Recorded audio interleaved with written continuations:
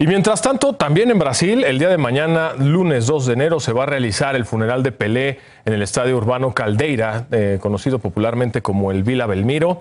El féretro de Pelé estará en medio de la cancha, sus seguidores podrán despedirse de él. Eh, ya después, el martes 3 de enero, se va a realizar un cortejo por las calles de Santos. Va a pasar, de hecho, por eh, donde vive, por enfrente de la casa de la madre de Pelé, la señora Celeste Arantes, quien tiene 100 años de edad, para que ella también se pueda despedir de su hijo. Todo esto antes de dirigirse al cementerio memorial Necrópolis Ecuménica. Ahí Pelé va a ser sepultado en una ceremonia privada.